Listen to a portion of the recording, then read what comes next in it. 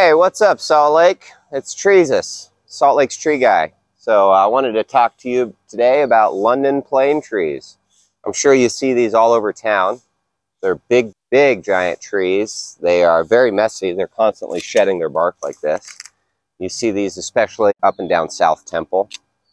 The London plane tree was a cultivar. It was actually a mix of two different trees, I believe a sycamore and a maple. It was said to have originated from Spain, but possibly London.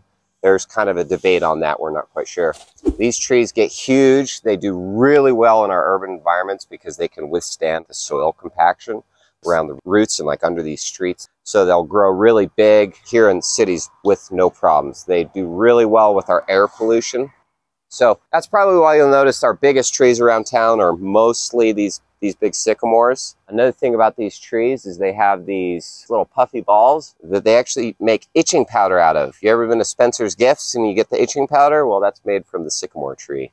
So uh, working on these trees can be a real big pain in the butt for arborists because they are very itchy and they can make you cough and sneeze and get all crazy. Um, but other than that, these trees are actually just amazing, fast growing, big, large, long-lived trees uh, planted all over America, especially in a city because they do so well with the pollution and the root compaction. So anyways, enjoy this beautiful tree. Have a good day.